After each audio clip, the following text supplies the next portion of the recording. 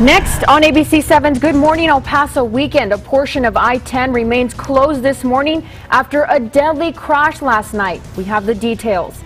And a tough loss for the UTEP Miners football team. They traveled to Albuquerque for the Gildan Bowl. We have all the highlights. Also, new details on the execution-style shooting of two New York City police officers. Why police are calling it a target on law enforcement. And in Storm Track weather, Dan.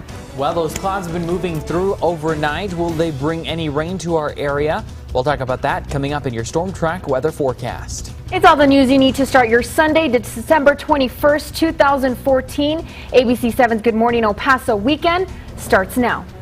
Live, where news comes first. From the Mesilla Valley and Las Cruces to El Paso and the borderland. This is ABC 7's Good Morning El Paso weekend. Good morning and thanks for joining us on this Sunday morning. I'm Josie Ortegon. We have a traffic alert for you this morning as you're heading out for the day. A portion of I-10 remains closed. Police are still investigating a major crash that happened last night on I-10 near Mesquite. And again, that portion of the highway remains closed this morning. Now, this crash happened yesterday around 6 in the evening just south of Las Cruces on I-10 East near Mesquite. Mexico State Police say seven vehicles were involved, including a semi-truck. We've learned an Arizona woman was killed. Two people were airlifted to El Paso and others were taken to the hospital. No word yet on the extent of their injuries. The crash happened right where traffic begins to bottleneck before the Mesquite Bridge construction zone. And drivers are being reminded once again to slow down when traveling that stretch of the highway. Distracted driving is a big factor nowadays, especially in the construction zone, especially with, um, my understanding is with the fuel prices being down, everyone now is traveling on, on, on the road. So we were just asking the distracted driving, please pull over if you're tired. Please don't drink as well. And please be prepared. We, we, had this highway shut down. We had people here stuck on this highway for two hours.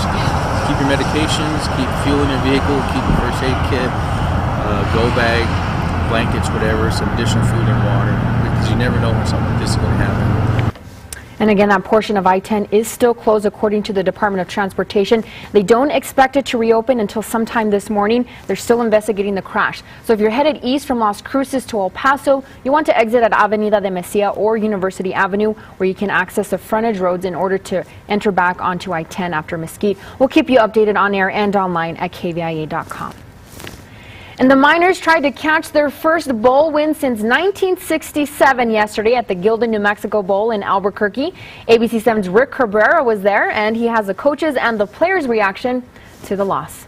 If the Miners wanted to get a win in the Gildan New Mexico Bowl today, we knew they were going to have to dominate in time of possession and run the ball. Well, they did dominate in time of possession, but they couldn't run the ball very well at all. They got too much penetration. You know, when you don't have a run game, it's hard to pass on on the team. And you know, uh, even in the past game when they were getting pressure, bringing stuff out the edge, we didn't pick it up. Um, some of that was on me for you know not getting the ball out on time. Well, I told them uh, I'm extremely proud of them. Uh, you know, especially the senior class. This is a group of young men that uh, decided to stop the bleeding on eight straight losing seasons, and they made a commitment to doing that.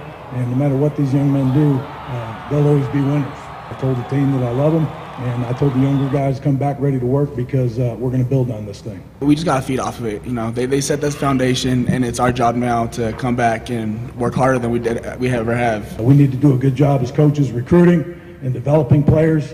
Uh, but I think uh, UTEP's turned the corner, and, and uh, I really feel the program's heading in the right direction. So UTEP will say goodbye to 28 seniors, and they will have some holes to fill in some key spots. But in just his second season to take the Miners to a bowl game, I know head coach Sean Kugler is feeling good about the future and the foundation of this program. Reporting from the Gildan, New Mexico Bowl in Albuquerque, I'm Rick Cabrera. We'll send it back to you. ABC 7's Louis Del Rio will have all the highlights from yesterday's game later in sports. And moving to Storm Track weather now, let's get a look at your first forecast with Storm Tracker Dan Martinez. Dan, it's the first day of winter, but we're not expecting any sort of wintry weather today, right? A beautiful day in store. Yeah, and actually we're going to see a warmer day today than what we saw yesterday. But let's talk about clouds and radar. And we mentioned those clouds at the top of the newscast here. Those have been moving through very quietly through the El Paso area. Very thin clouds, too. Nothing really to speak of with bringing rain or anything like that. But nonetheless, I want to show you the current temperature out there 40 degrees with those mostly sunny skies. And then notice it feels like 35 degrees with those south southeast winds at 7 miles per hour for Las Cruces. We're feeling like 32 degrees out there. Those winds are calm, thank goodness, but definitely still a cold morning out right now. According to our ABC7 Storm Track Weather Net, sponsored by the Mattress Firm, you notice 41 degrees at KVIA Studios, 35 degrees at the War Eagles Air Museum, and the Nolan Richardson at 38 degrees. Here's a look at your day planner forecast. You notice we'll be in the 50s practically throughout the entire day, starting at noon, rolling through the early part of your day. Josie? Okay, thanks, Dan. And we're learning more about a pedestrian involved incident that happened Friday night. Police believe the man was intoxicated when he was hit by a car. It happened just before 11 p.m. at 750 North Carolina in the Lower Valley. Police say the 60 year old man stepped in front of the car and he suffered life threatening injuries. The driver is not facing any charges at this time. And a fire severely damaged a Las Cruces home yesterday. This happened around 7 a.m. yesterday morning at the 1200 block of Branding Iron Circle. Neighbors saw smoke coming from a mobile home. Fortunately, no one was home at the time. Several rooms suffered heavy fire damage. The cause of the fire is still unknown. And residents of Socorro were at the polls yesterday voting for a new city rep for District 4. The county's website shows Jose Anthony Gandara ahead with 51% of the vote.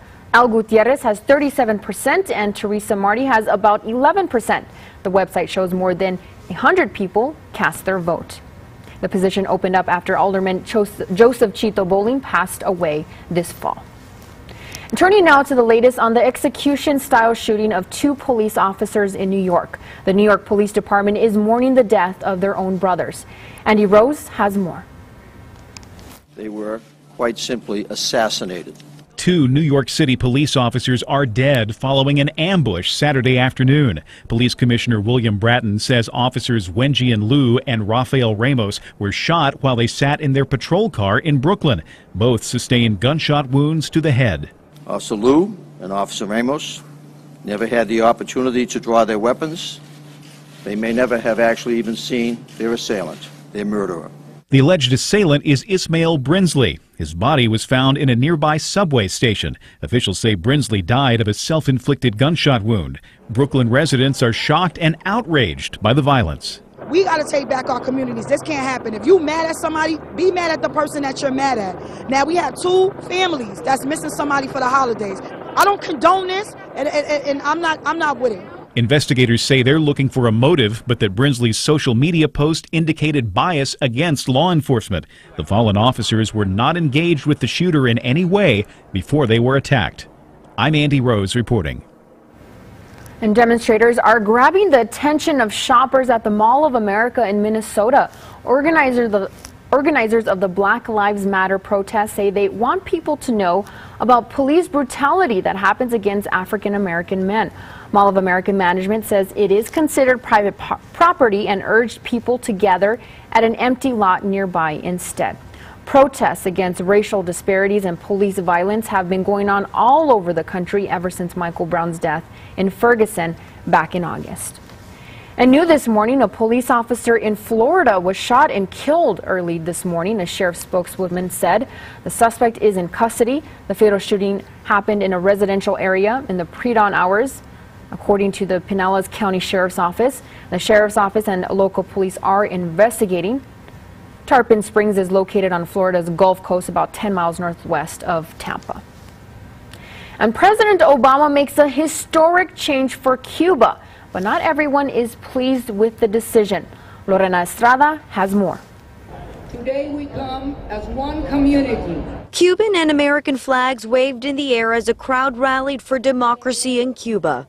Signs held high in show of opposition to the Obama administration. See this man surrendering to our to our enemies across the world, and it's very, very, it's very saddening because it's so in contrast to the history of this country and what we've always stood for. One family dressed in black to express their grief.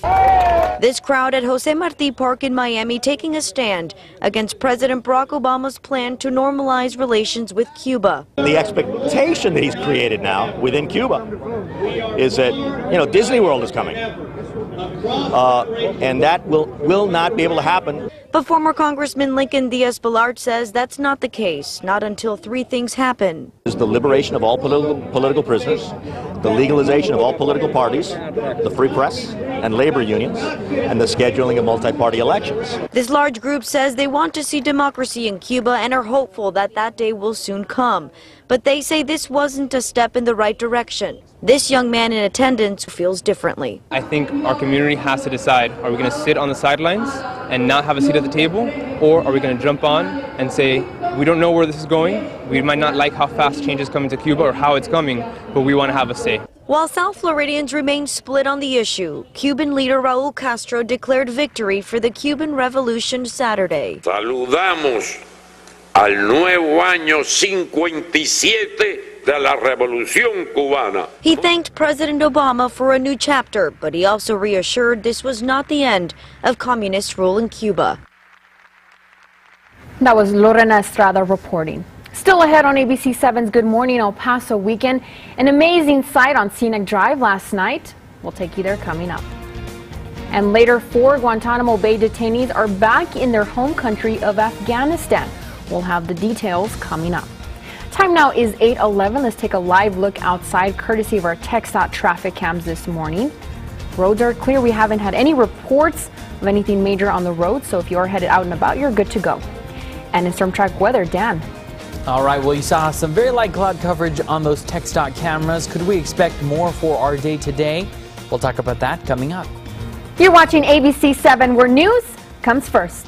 You're watching ABC 7's Good Morning El Paso Weekend with Josie Ortegon and Storm Track Weather with Dan Martinez.